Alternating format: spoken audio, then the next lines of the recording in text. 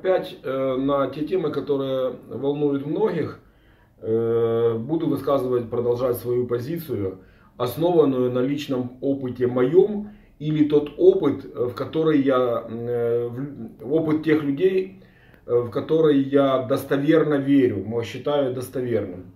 Сегодня я хочу, чтобы мы поговорили о таком явлении, как домовой. Он бывает, конечно, и инициатором полтергейста, и опять же, домовой как деньги, как скальпель, э, его делаем злым или добрым мы. Э, сейчас, конечно, не всем везет и иметь у себя э, в жилище домового. Почему я говорю о том, что везет? Ну, везение вообще спорная штука, но действительно здорово иметь у себя в доме такое, такое явление, которое еще и благожелательно настроена к жителям этого жилища. Ну, время идет, растет, количество недвижимости растет, количество людей растет. Не знаю, растет ли количество домовых. Но мне, э, я не скажу посчастливилось, но довелось несколько раз э, столкнуться с этим явлением воочию. И причем э, со стороны, когда домовой меня не воспринял, это было самое яркое впечатление. Первое упоминание домовой, о домовом в моей жизни было от моей мамы. Она рассказывала о том, что когда они переехали, ей было около 14 лет, э, в новый дом, э, бабушка ее, которая была эм,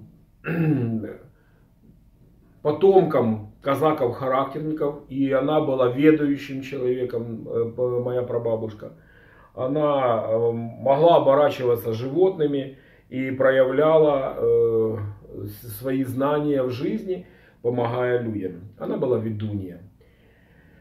Э, и вот моя, моя прабабушка э, перенесла в дом домового. домового. И уже переехали, перевезли все вещи. И перед первой ночью в... она пригласила, точнее, домового переехать из старого дома в новый. Обряды существуют, они достаточно простые для этого. Вот. И, конечно же, э, люди раньше знали и исполняли их, они понимали, насколько важен домовой и его доброе отношение к семье в которой, и дому, который э, на самом деле и целостность дома, и пожары, и все остальное прочее, и кражи э, также зависели от того, насколько хороши отношения с этим духом дома, как хотите, оберегом дома. Ну, это абсолютно живое существо, и которое периодически становится видимым. Я думаю, что это существо четвертого-пятого измерения, которое периодически по своей воле проявляется и делается видимым для нас.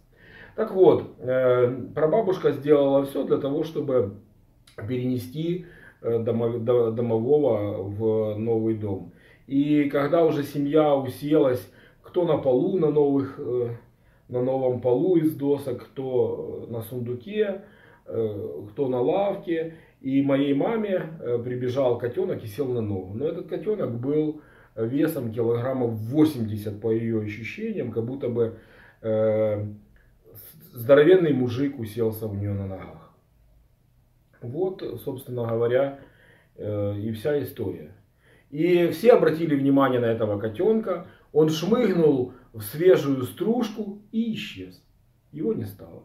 На что бабушка, э, мамина бабушка, моя прабабушка улыбнулась и сказала, пришел хозяин в дом. И, собственно говоря, э, всем стало ясно, что это домовой. Э, моя дочь видела домового в доме, который мы, наша семья снимала какое-то время.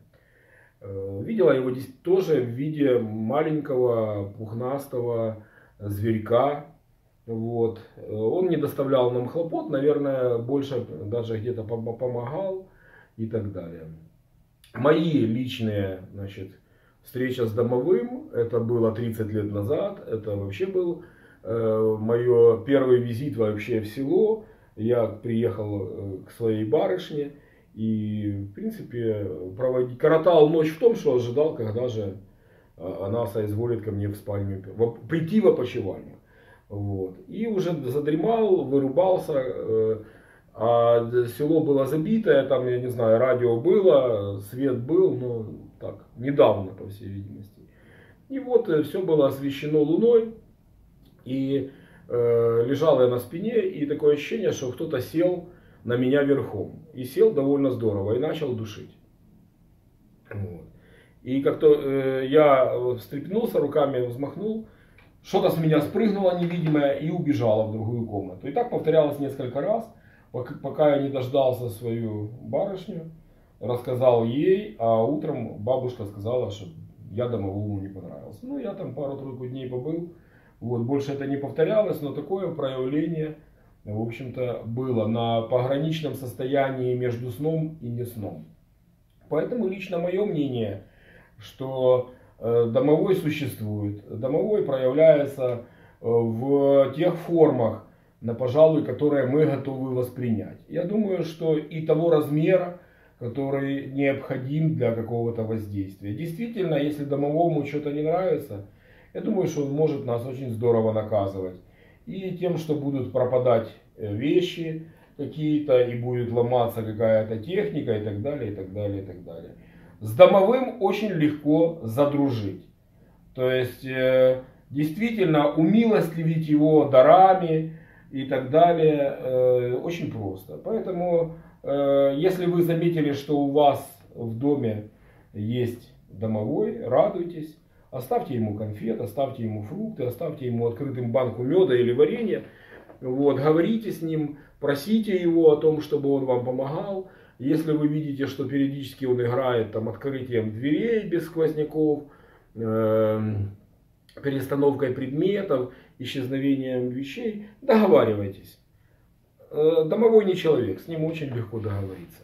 Просто нужно его уважать, почитать и понимать, что на самом деле он в каком-то смысле хозяин вашей недвижимости и э, может вам помочь ее э, уберечь в хорошем состоянии и неприкосновенной и от воров и от всего остального прочего э, гораздо эффективнее любой сигнализации и всего остального прочего.